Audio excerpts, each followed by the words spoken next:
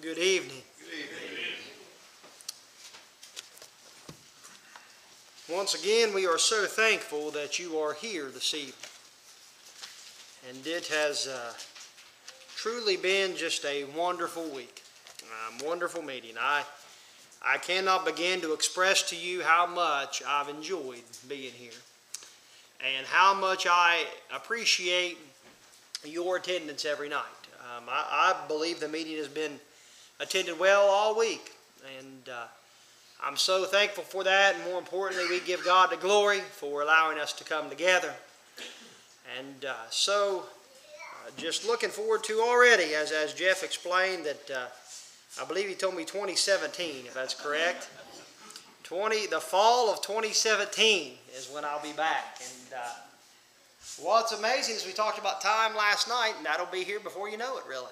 And uh, I, you know, when I scheduled this meeting many years ago, I thought that's a long ways off, and then here we are at the conclusion of this meeting. But uh, you know, I'm so thankful for the way you've invited people this week. We we have had people here uh, throughout the week uh, from the community. You have invited them. You have brought them here. Um, you're the one that uh, you know uh, gave them the invitation, and, and I'm thankful for that, and uh, really appreciate that. And hopefully, we have planted that seed within their heart, and then as we're going to talk about tonight, you can go forth and uh, water that seed, and then God will give the increase. So thankful for Brother Jeff that you have here. Uh, you have a wonderful gospel preacher. I, I, know you realize that, but you really do. I, I appreciate him. I, I appreciate uh, his love for the truth. Uh, he has a wonderful family, and they're doing great things here. And uh, really, I cannot think of anybody uh, that, that would do any better of a job than the man you have. And I, I know that you're treating him well, and I know that he, in return, is doing the same. And uh, we'll be praying for you all. And uh, you're in our prayers. And, um, you know, keep us in, in, in your prayers. And uh, we look forward to seeing you in the future. But uh, so thankful for this invitation. Thankful for John and Van and inviting me. And looking forward to coming back again, as we said, in the, in the future. Psalm 126. Open your Bible to Psalm 126 with me. Psalm 126. I always try on Wednesday evening to present a lesson in a, in a meeting that is on evangelism. Uh, generally speaking, a lot of times on our Wednesday nights as we gather together for the final night of our meeting, a lot of times it is those who are here on a regular basis for Bible study. And uh, tonight we want to talk about evangelism because it is your all and it is my responsibility to be going out into this lost and dying world and evangelizing. Uh, it is expected of us, it is something that God expects us to do. He's commissioned us to do it, and we must be willing to step up to that wonderful work. In Psalm 126, verses 5 and 6, the Bible tells us, Those who sow in tears shall reap in joy. He who continually goes forth weeping, bearing seed for sowing, shall doubtless come again with rejoicing, bringing his sheaves with him. That is going to be our text this evening that we're going to build this lesson around. Our lesson tonight is one that I have heard uh, many, many years, at least in points. Um, I remember hearing um, when I was at Camden Avenue, Brother Clarence DeLoach preached a sermon very similar to the one I'm going to preach to you tonight. And it was one of those sermons that uh, anytime I'm, I'm in an audience and, and I hear preaching, I take notes. I, I'm a person, if I'm not taking notes, my mind wanders very easily. And so I have to have a pen and a paper, and I got to be writing. And I heard Brother Clarence preach a lesson very similar to this, and I stole his points. And uh, then it wasn't very long uh, after that, I went heard to another meeting, and there was a preacher preaching almost the same sermon.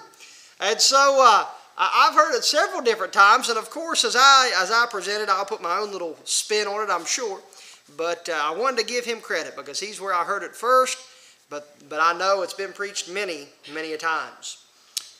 You know the the idea of the Christian life, or our main work of the Christian life, is to be winning souls for Christ.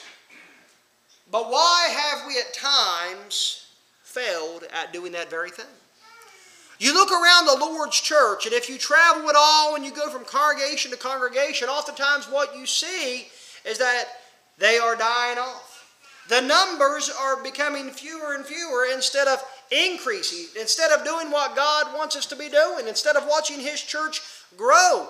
And I've oftentimes said, someone says, well, why is that? Well, brother, it's because we're not working. It's as simple as that. The Bible is very plain that if we go out and we plant the seed and we water the seed, that God will give the increase. If we're doing that, if we're doing our part, God's going to do His part. Uh, I think, you know, if we say, well, we're doing our part, but the church isn't growing, then we're in a sense almost blaming God. You know, He's going to do His part if we do ours. And we have to make sure that we're going to do that very thing. When you think about the church here at Sandyville, I said yesterday, it's amazing to me that as, as I've been going now for uh, approximately 10 years, you know, I, I said it, it, it's wonderful to see that the church has remained strong.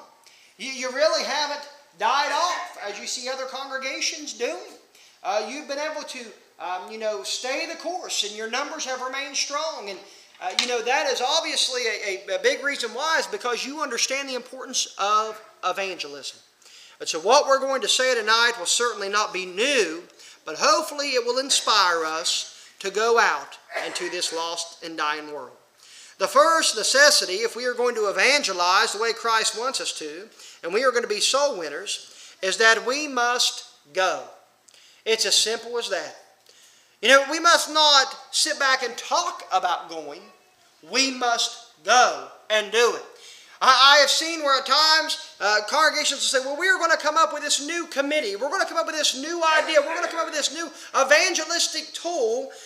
And, so they form this evangelistic group. And oftentimes what happens is it gets no further than the group.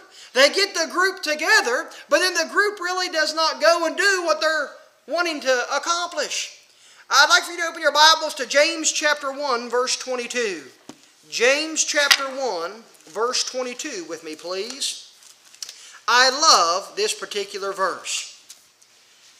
But be doers of the word and not hearers only, deceiving yourselves. I love the way James ends that. Deceiving yourself. It's very easy to deceive ourselves. It's very easy to say, I'm doing all I can do for the Lord. I'm working as hard as I possibly can for the Lord. And reality, we can sit back and say, well, no, I'm not. What are we doing? We're deceiving ourselves. James says, Be doers of the word, not hearers only. Listen, brethren, I am so glad you're here tonight. I'm so glad that when I said turn to James 1.22, I heard Bible pages turning. And you're listening, and you're attentive, or at least you're good at pretending if you're not. But just don't hear the Word of God, but do the Word of God. God wants us to be workers for Him. He wants us to go. When we talk about evangelizing, when we talk about saving those who are lost, we're not just talking about those who have never been baptized. We have a lot of people, a lot of brothers and sisters in Christ who have obeyed the gospel and who have fallen away. They need to be brought back as well. I know that you have gone out and you have spoken to them. I know the elders have gone out and they have spoken to those people. And maybe at times they've said, you know, we don't want to hear what Van and John have to say. We don't want to hear what Jeff has to say. And you can say, well, we have tried to reach out to them, and I commend you for doing that. But don't quit. Send them a card. Make a phone call. You don't know when they're going to be going through one of those valleys in life and they need the Lord. And all they want to know is that somebody still cares about them. That phone call or that card might bring them back to the Lord. In Matthew chapter 28, verses 18 through 20, Jesus gave what we call the Great Commission. He said, All authority has been given to me on heaven and on earth. Go therefore making disciples of all nations, baptizing them in the name of the Father, Son, the Holy Spirit, teaching them to observe all things that I've commanded you, and lo, I'm with you always, even to the end of the age. He gave a commission to those disciples, but that commission certainly still applies to all of us today. Consider these, uh, this idea of going. In Isaiah chapter 6, verses 5 through 9, after Isaiah has been cleansed, God tells him, Go and tell this people. In Mark chapter 16, verse 15, Jesus said, Go into all the world. In, Matt, in Luke chapter 14, verse 21, we read, Go out quickly into the streets, in the cities, and the lanes.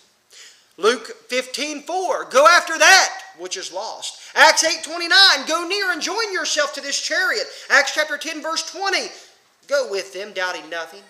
And then I love Acts chapter 9, verse 15, go for he is a chosen vessel of mine. That's told to Ananias. You know what I love about that particular situation is, Ananias is a lot like we are. God says, Ananias, I want you to go at, after Saul of Tarsus. And Ananias, what's he do? He makes an excuse of why he cannot. That's a lot of times what we do, brethren. I am a great excuse maker. I, I can, you know, and even with Ananias, he had a reason. Well, well, Lord, I know of Saul, and he has the authority to arrest people. He's been persecuting the church. I know of him. And the Lord says, You still have to go. He says the same thing to us. We might have all the excuses. We might have all the reasons of why we cannot go, why we are too busy, why we. And God says, Go. We must make sure that we're doing our part. If we are doing our part, God will do His. Go over in your Bibles to 2 Kings chapter 7 with me, please. 2 Kings chapter 7. And I want to look at a story that is told about four leprous men. And these four leprous men, the Bible tells us in, in verse 3, were at the entrance gate, and they said to one another, Why are we sitting here until we die? Why are they at the entrance gate? Because they're not allowed into the city, because they have leprosy. But the whole city is in a famine. They're all starving to death. And so they, they're sitting outside the gate. And they said, Why are we sitting here? Let's just go turn ourselves in. Let us go throw ourselves at the mercy of the Syrians. And so the Bible tells us they decide to go over to the army and they're just going to turn themselves in. And they think maybe they'll make us slaves, but either way, maybe we'll be fed. Maybe, maybe we won't die like the rest of our people are going to. And the Bible says in verse 5 And as they rose at twilight to go to the camp of the Syrians, and when they had come to the outskirts of the Syrian camp, to their surprise, no one was there. For the Lord had caused an army of the Syrians to hear the noise of chariots and the noise of horses and the noise of a great army. So they said to one another, Look, the king of Israel has hired against us the kings and the Hittites and the kings of the Egyptians to attack us. Notice what happens. These four leprous men, they arrive to the camp, and what do they see? They see no army, but they see all kinds of food. They've left everything behind. And so they do what any normal thinking person would do. They gathered for themselves. And they went and they hid some of that. But then I want you to notice verse 9 with me. Then they said to one another, We are not doing right. This day is a day of good news, and we remain silent. If we wait until morning light, some punishment will come upon us. Now therefore, come, let us go to tell the king's household. They said, wait a minute, what we're doing is not right. We have good news. We have found food. There's an open camp with food. We have to go back and tell the people. We have to go back and tell the king. And we have to go right now. Why? They said, or else we'll be punished. Brethren, there's a lesson for us. We have the best news and we have to go and share it right now. Why? Because if we do not, we'll be punished. God expects us to go out into this world and to tell people about Jesus, Jesus Christ, our Lord and our Savior, and all that God the Father and God the Son have done for us, how we have the Word of God and it can lead us unto salvation. I told you the other day about good news when you have it. You want to share it? If there was one who was baptized in the Christ tonight, we hope that's the case if you're here not a child of God, and you obeyed the gospel, and you, you've been thinking about being baptized, maybe you were lying there last night and you thought about being baptized, and tonight you obeyed the gospel, and you were baptized into Christ. Would you not want to go share that news with everybody? You'd want to go tell everybody. Guess what? The you know we had a baptism last night. We had a baptism tonight we, we have a new brother in Christ, we would share that news. Why? Because it's good news. Let us make sure that we're going to share the best news, the news the world needs to hear, the gospel of Jesus Christ. I want you to go to Acts chapter 8 with me. Acts chapter 8.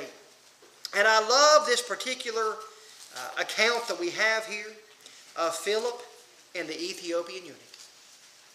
Here's a man who is an evangelist. The Bible tells us in Acts chapter 8 and verse 26 Now the angel of the Lord spoke to Philip, saying, Arise and go toward the south along the road which goes down from Jerusalem to Gaza. This is desert.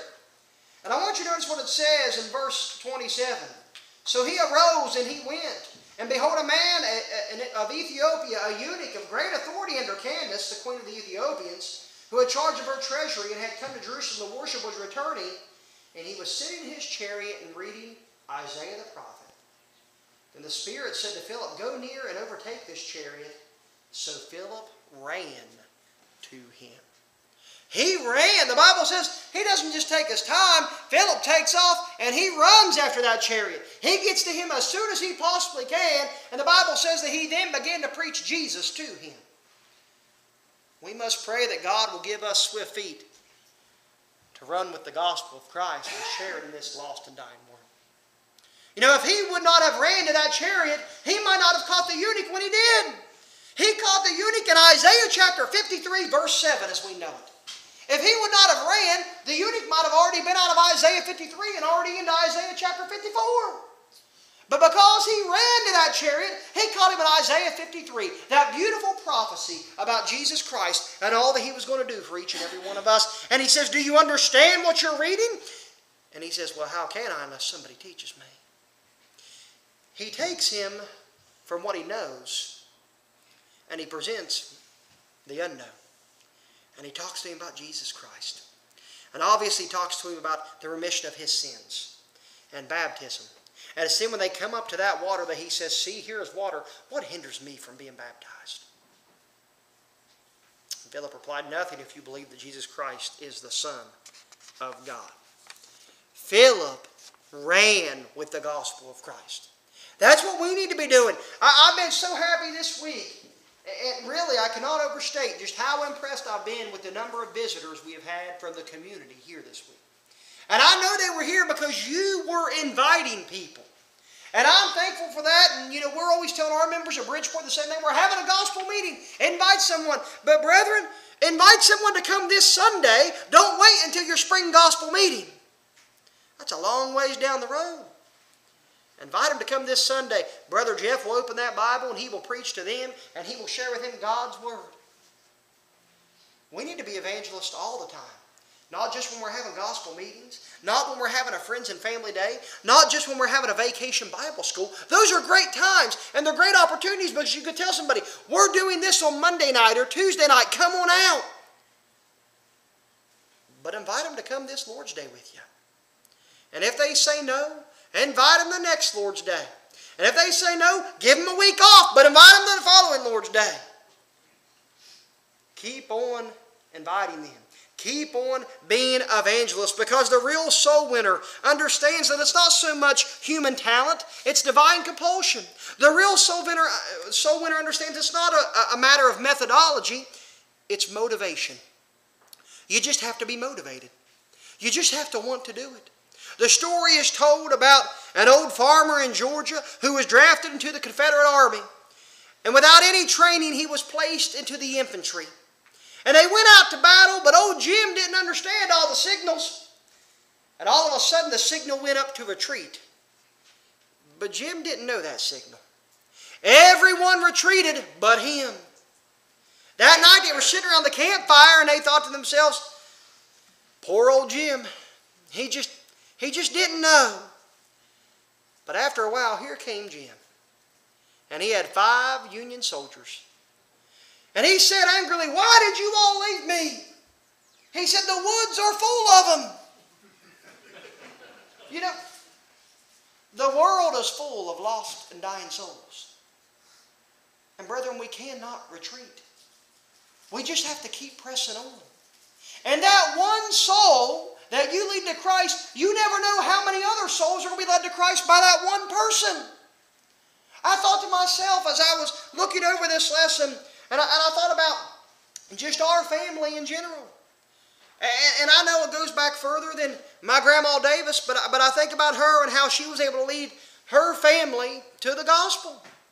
And she was baptized, and uh, her, her family was baptized into Christ. Of course, there's a, there's a lot of them here tonight, and Aunt Amy's here, and Candy, and uh, my mother, and uh, I'm probably missing people as I'm looking around here. But then their husbands were baptized into Christ. Other than I think Jeff was already a Christian, but my mom converted my dad. Candy converted Terry. Their children were baptized into Christ. On down the line. I was able to become a gospel preacher. I've been able to baptize, I don't know, 60, 70 people into Christ maybe. I don't know. I, I really don't keep count. One soul can lead to so many other souls. We never know. Uh, there was a, a, man over in the uh, countryside over by our way who we baptized into Christ, and he was so on fire for the Lord when we baptized him. He said, I'm going to go and I'm going to convert my family. And you know, you did one of those things of, okay, go get him, buddy. Yeah, that's right. Seven other souls were baptized into Christ because of that one man. He went back and told them about Jesus Christ. He went back and told them about baptism. And it wasn't long that he came back and he said, We need to have some Bible studies. One soul Yes, the angels in heaven rejoice over that one soul, but you never know what that one soul is going to lead others to Christ. Brethren, we need to go, but we also need to glow. We need to glow with compassion, the Bible tells us. And in, in the psalm we read, Psalm 126, it says, going with tears and compassion. We need to be a compassionate people. You know, we go out and we see this world at times. And I don't know about you, but there are times that I become very angry and very bitter when I look at this world. I turn on Fox News for five minutes and I'm ready to go. I'm mad as soon as I, I just start listening to it and I think, well, you know, I, my, my, Megan said to me, don't even watch the news anymore. Don't even read the paper. Don't, if it's going to make you that upset, just don't even watch it. She had a point, and I turned it off and got myself under control a little bit. Uh, but you know, instead of becoming angry, I need to become sad. And I need to take that compassionate heart out into this world and be compassionate with people. Show them I love, uh, love them. Show them that I care. You've heard that before, but people don't, do not care how much you know until they know how much you care. That, that's a true statement. We need to go out into this world and we need to have compassion for those that are lost and dying. Imagine Jesus in Matthew chapter 23 and verse 37. As, as I picture that text, there might have even been tears running down his face. We don't know. But the Bible says that he stood over Jerusalem and he said, Oh, Jerusalem, Jerusalem, the one who kills the prophets and stones those who are sent to her. How often I wanted to gather your children together as a hen gathers her chicks under her wings, but you were not willing.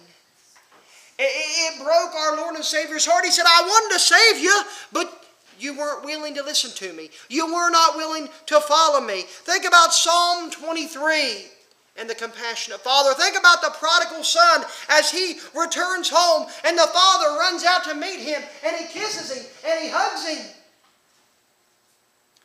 We need to be a group of compassionate people. That was not a strong point of mine for the longest time. I was not a compassionate person. I was not a compassionate husband. I was not a compassionate father. I was not a compassionate minister. I just wasn't. You can ask Megan, when we first got married, I was anything but compassionate. I remember there'd be times where maybe she'd start to cry, and I'd say, Oh, don't, don't cry. And, and, and I'd tell her, I'd say, If you're going to cry, just go in that other room. I, just, I don't even want to see that. That, brethren, that's not compassion. That's just being a jerk. Amen to that. I would. I tell you, I, am repenting. I guess right here. But you know, I was that way. I, and I had to learn what compassion really was. I like to think now that I'm a compassionate person, one who truly, uh, you know, longs for and sorrows after those who are lost. But I want you to go in your Bible to Mark chapter 20 with me, or Matthew chapter 20. Matthew chapter 20, verse 34.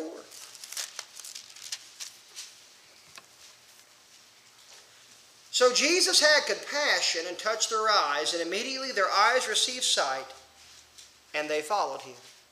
You know what's amazing to me is you read your New Testament, how many times it talks about Jesus and his compassion. Go over to Matthew 15. Just a couple pages in your New Testament. Matthew 15, verse 32. Now Jesus called his disciples to himself and he said, I have compassion on the multitude because they have now continued with me three days and have nothing to eat, and I do not want to send them away hungry, lest they faint on the way. What caused Jesus to react the way he did? Compassion. If we have compassion, it proves the love of God is truly in us. 1 John chapter 3, 17 tells us, But whoever has this world's goods and sees his brother in need and shuts up his heart from him, how does the love of God abide in him? Brethren, I understand that there are going to be certain people here that are more compassionate than others. But I know that you can grow in that area. I joke all the time about my father. He's not here to defend his case tonight. But when we grew up, he wasn't a real compassionate man. But as I've watched him grow in the years, and I watch how he is with my baby sister, and I joke with him about it, he's much more compassionate now. He's much more compassionate with his grandchildren. I watch him and, and the things that he laughs about when Carson and Millie Kate do, or the way he feels bad for them when he sees one of them fall down or something. You know, for us, it was just stand up, you're fine. Oh, but, you know, he's running with open arms now. He's got my, I mean, he's putting band aids on, whatever. You can become more compassionate if you really want to be. And we need to be as Christians. In Luke 10:35, we read on the next day, while he departed, he took out two denarii, gave them to the innkeeper, and he said to him, Take care of him, and whatever you spend when I come again, I will repay you. Talking about the Good Samaritan. We need to be good Samaritans. We need to be going out into this world because when people see that you're compassionate, when people see that you care, it's them that they're going to want to hear about Jesus Christ. They're going to want to hear about the gospel. They're going to want to hear about what do I need to do to be saved. That Good Samaritan was a good example, made a good impression on that day. That's what we need to be doing as well if we're going to be evangelists for Christ. Be just like him. Have a compassionate heart. We call Jeremiah the weeping prophet, as it said in John, Jeremiah 9 1. Oh, that my head were waters and my eyes a fountain of tears. Jeremiah was not just a weeping prophet, Jeremiah was a compassionate prophet. Jeremiah loved his people so much. And the, and the thing that kept him preaching, even when he wanted to quit, was that he loved the people and he felt bad for them. And he wanted them to repent and he wanted them to turn from their ways. They just would not listen. There's an example of at times we can preach and we can preach and we can preach. Sometimes that person's just going to be hardened to the gospel of Christ. We can't do anything about that. We can pray for them, we can preach, keep preaching to them, but eventually they have to make their own mind up. But we need to have compassionate and loving hearts to those who are lost in this world. So many times I've seen people who have said, Oh, don't go speak to so and so. Oh, they're a terrible person. They're, you know, they're a scoundrel. Uh, they, they don't want to hear the gospel of Christ. They're, they're not going to be baptized. You know, I bet you there's some people here tonight that at one time somebody said, well, that person's not going to be baptized. You know, somebody probably said that about Dorton at one time. Well, that, that scoundrel, he's not going, he's not going to be a preacher. And now look at him, standing up every Lord's Day, preaching the gospel of Jesus Christ. Have compassion for people. Love them, be there for them, and encourage them. But also, not only do we need to go, and know, or excuse me, and glow, but we need to know the Word of God. You have to know the Bible. You have to know what the Bible teaches. And you have to be able to teach that Bible to those who are seeking and searching for the truth. Now, there's nothing wrong if you do not know everything to say. That's one of those times where you say this would you be willing to have a Bible study with our elders or our preacher? You know that they're going to be willing to study with them. You know they're going to be more than happy to show them what the Bible says. You do not have to have all the answers. In fact, if they would start to question you and say, Well, why do you do this? Why do you believe this? Instead of giving them the wrong answer, say, Are you willing to have a Bible study? They might say yes. They might say no. But either way, you know there's some interest there because they're wanting to talk about the Bible with you. I love nothing more than when somebody oftentimes finds out that I'm a preacher and, and they want to then discuss the Bible. It's amazing to me. I could be sitting, you know, in the uh, shop having my truck worked on, and oftentimes I carry a real little New Testament with me, and I'll open that Bible, and it's amazing how many people will start a conversation up when they see that Bible. I remember the first time I got on an airplane, it just so happened I had my Bible open, and I was sitting there, and, I, and it was when I was um, flying to uh, it wasn't my first time. It was, it was when I was in the school of preaching. I was flying down to see Megan. We were dating. And uh, I had my New Testament open, and I started to read it as we were about to take off. And I had this man sitting beside me. He looked at me, and I looked at him. He looked back at me. He looked at my Bible. He said, Do you always read that Bible before you fly? I said, Well, I said, I read my Bible every day. I said, I'm a preacher. And we began to talk about the gospel. And, and I don't know whatever happened after that conversation. But it's amazing to me just how many people, when they see that Bible in your hands, that they'll want to sit down and talk to you about it. The Bible is a book that people are interested in. Even if they, they do not know the Bible, they want to know the Bible. And it's amazing to me about when you go out into this world, how few of people really know anything about the Bible. Very few people could probably even tell you where Jesus was born. They, uh, you, you certainly know they couldn't tell you about the books of the Bible. They could not even begin to maybe name the New Testament books. They might get Matthew, Mark, Luke, and John, and then they're finished. They're done. We live in a world where people are interested about the Bible, but I think a lot of them are intimidated when it comes to the Bible. They're intimidated because they think, I'm never going to uh, be able to know all of that or uh, come to an understanding. And we have to convince them otherwise. They can know the Bible. They can come to a knowledge of the truth. Go to 2 Timothy chapter 3. 2 Timothy chapter 3.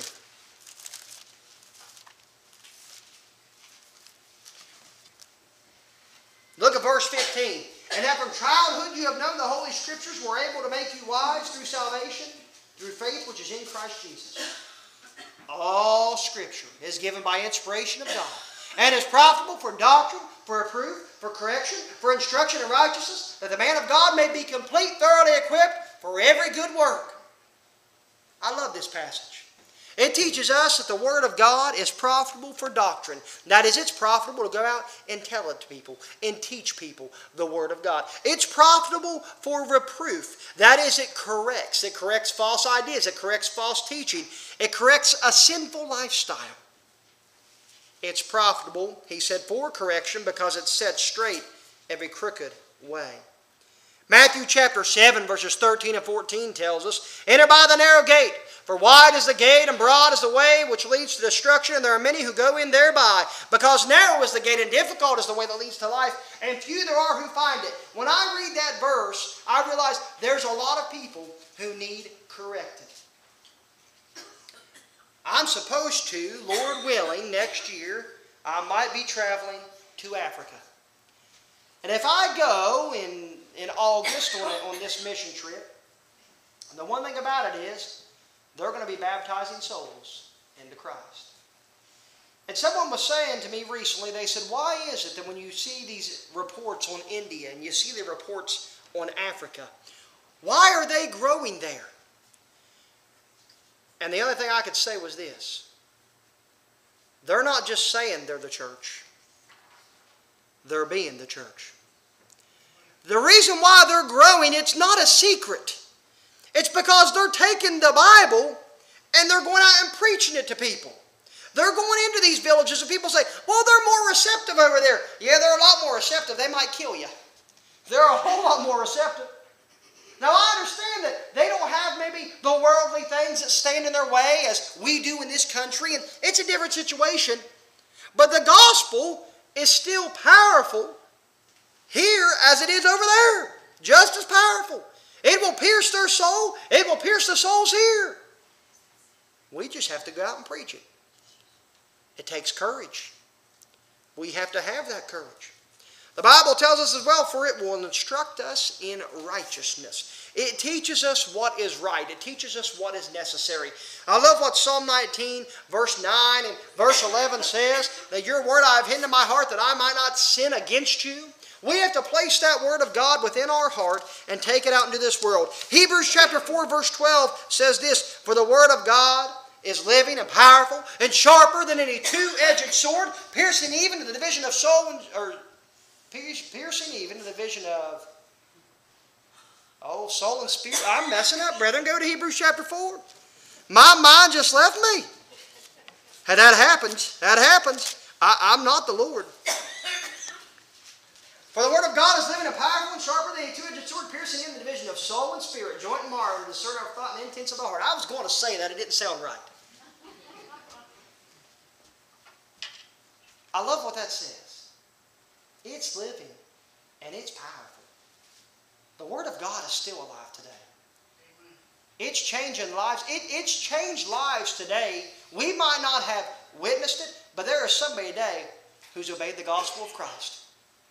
It, there might be somebody here tonight that will obey the gospel of Christ. Why? Because the Word of God is still alive. It's still as uh, powerful today as it has ever been. James chapter 1 verse 21 says, Therefore lay aside all filthiness and overflow of wickedness, and receive with meekness the implanted Word which is able to save your souls. That's what the Word of God will do. It will do it for you tonight. And it will do it to those who are not here tonight if we take the Word of God to them. If you know somebody that you've been working on, I saw you have all kinds of tracks out front. Take them one. Take them. You know, I remember they had those CDs out a couple years ago, those DVDs on searching for the truth. Get a couple of those and just hand it to them and say, just watch this. People want to know the truth. In Ephesians chapter 6, verse 17, it calls it the sword of the Spirit. Brethren, what's a sword do? A sword penetrates, it pierces. That's what the Word of God does. It penetrates or it pierces. As Hebrews 4, 12, uh, 4, Hebrews chapter 4, verse 12 said, it's sharper than a two-edged sword. The Word of God will pierce the heart of many. The Word of God pierced all of you.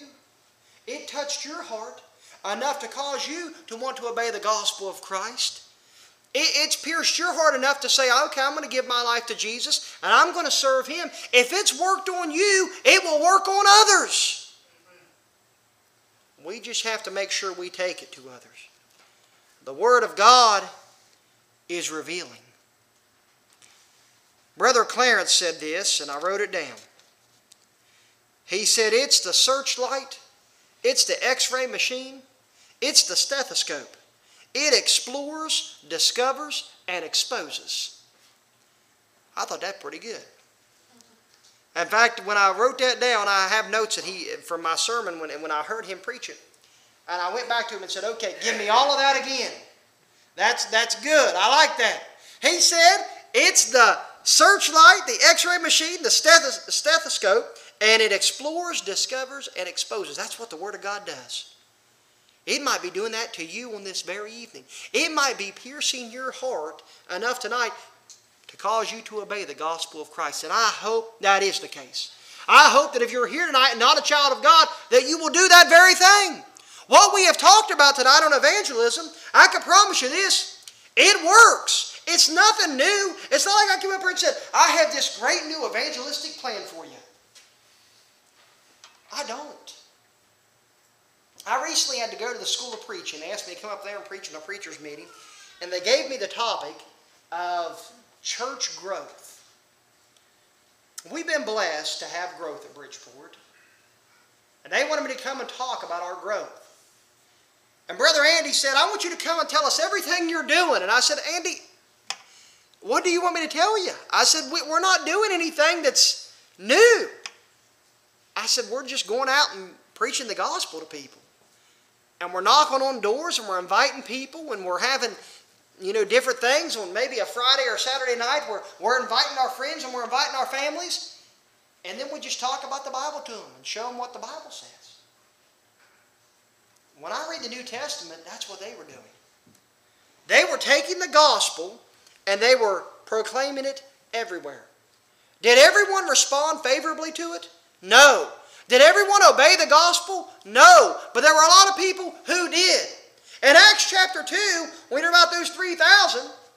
Do you realize there were thousands upon thousands upon thousands who didn't obey the gospel? That's going to be the case with us. We're going to have a lot more people tell us no than tell us yes. But that cannot stop us. In Luke chapter 8, verses 4 through 15, we're almost finished here. You read about the parable of the sower. I love the parable of the sower. In fact, a lot of times I turn that around. A lot of times we take this and we say to ourselves, what kind of what kind of soil are we looking at here? Are, are we looking, you know, at the rocky soil, the thorny soil? Is it the good soil? And we say we want to go out and find that good soil. A lot of times I turn it around and instead I say this, what kind of soil are we? Am I the good soil? If I'm the good soil, then I'm going to go out and proclaim the Word of God. But yet at the same time, the one thing I've learned about reading the parable of the sower and life in general, we have a lot of people here who are farmers tonight. You know the one thing about sowing seed? You better till that ground up real good first if you want it to take. I think that's true with the gospel. We can go out and sow the seed, but let's make sure we till that ground up, till that heart real good so that seed really takes. You might do that a number of ways. You're probably going to be tilling that ground up or tilling that heart up when they just watch you on an everyday basis. They watch the way you live. Your neighbors see the way you live. Your neighbors see when you go and get in that car on Sunday morning, and you drive off. They see when you come back and you're driving off again on Sunday evening. And when you're going in on Wednesday evening, they see those things. They, they know when you go out and you do a good deed for them, just for whatever reason. Wasn't very long ago that we had some big floods come through Bridgeport. And our whole backyard and everything was just a mess. And our neighbor's yard was a mess, and I went and I grabbed Carson. I said, Carson, come on. We're going outside and we're working on the neighbor's yard. He said, Well, why are we going to do that, Dad? And I said, Because it's the right thing to do. And I said, So I'm going to work in our yard, but you're going to go over in their yard. And I want you to pick up every stick and every log you see over there, and you carry them over to our yard, and then we'll take them and we'll get rid of them. And he went over there, and he worked, and he worked, he never complained. I'm thankful he's only six. He's not at that stage yet. And a couple days later, we had a knock on the door. It was our neighbor. Just wanted to tell us thank you. All of you have done things like that for your neighbors. When you do that, you're tilling that ground to where they can be receptive to the gospel of Jesus Christ. Remember that there will be disappointments along the way, but that's, that's not up to us. God will be the one who keeps track of all of that. The only thing He asks you to do is go preach. But one more passage and then the lesson George, tonight. Go to Acts chapter 8. Acts chapter 8.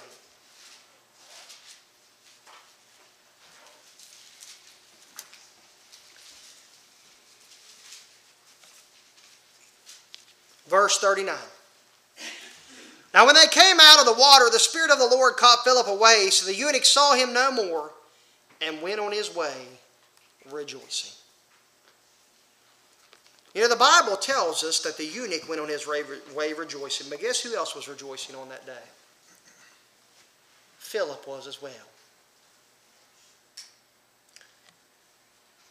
Give us a watchword for the hour, a thrilling word, a word of power, a battle cry, a flaming breath, a call to conquest or to death a world to rouse the church from rest, to heed the Master's high behest. The call is given, ye host arise. The watchword is evangelize. To fallen men, a dying race, make known the gift of gospel grace. The world that now in darkness lies, O Church of Christ, evangelize. we have to want to be soul winners and go out into this world and tell other people about Jesus Christ. We hope tonight that if you are here and not a child of God, then maybe something has been said that has got you thinking about your soul. Maybe you thought to yourself, you know, tonight, I need to be baptized into Christ. I need to repent of my sins and confess Jesus Christ as the Son of God before men and have my sins washed away by the blood of the Lamb. I said the other day on Sunday morning, oftentimes we, we wonder what's holding this person back or what's holding that person back. What, what could be said that could convince them otherwise? What verse could, could you read that could push them over the top? The other thing that's holding them back is themselves. Tonight we hope that you would give serious consideration about your soul and really think about that. And, and just take that first step down. The hardest step you have to take, I've always said this, is that step out into the aisle. Once you get out there, Brother Jeff will meet you halfway. He'll come and get you. He'll help you walk down that aisle. I think oftentimes that's what scares people. They think, I just, I just can't, can't do it in front of all those people. Well, first of all, if you can't, then just wait till they leave and we'll baptize you a little bit later. But all you have to do is take that first step down the aisle, we'll help you the rest of the way. And if you're here tonight and you need to do that, we hope you will. If you're here and you're struggling in your Christian walk and you need the prayers of your brothers and sisters in Christ, you have sin in your life you need to repent of, then why not do it tonight? Don't leave this building if your soul's not right with God. Leave here tonight as the eunuch did, rejoicing. Lay your head on your pillow tonight and say, I'm a faithful child